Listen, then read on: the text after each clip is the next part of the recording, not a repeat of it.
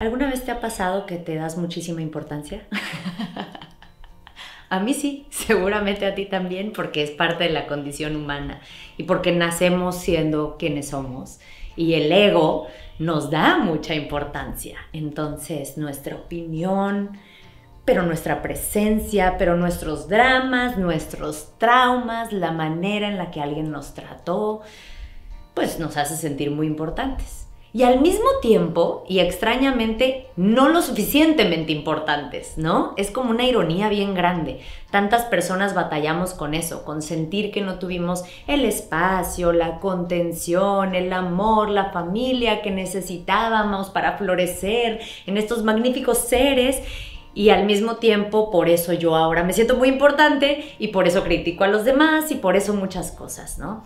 Entonces, algo que he estado aprendiendo que me parece muy valioso es a encontrar ese equilibrio adentro y afuera también entre que sí, eres muy importante, eres lo más importante para ti, tu bienestar, tu salud mental, tu espiritualidad, tu relación de pareja, la relación que tienes con tus padres, con tus hijos, con tus amigos, tus intereses, darte tiempo y espacio para explorar tus necesidades y tus gustos y tus pasiones. O sea, sí, tú eres lo más importante que existe para ti.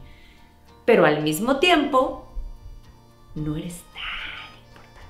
O sea, como para el universo, o sea, como para tratar a los demás mal o para creerte superior o como para tirarte al drama eternamente o como para exigirle a los demás que se arrodillen a tus pies y cumplan todas tus necesidades, incluso para reclamarles a tus padres que hicieron todo mal.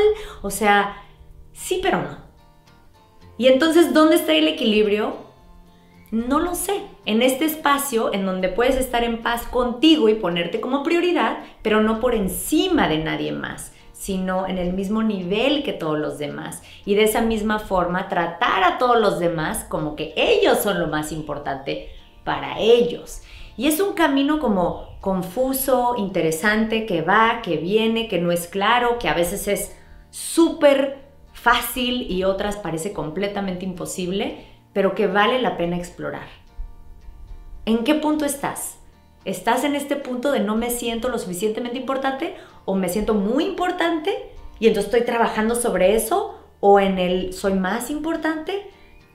Yo estoy como en el me doy importancia y a veces se me sube y me tengo que bajar.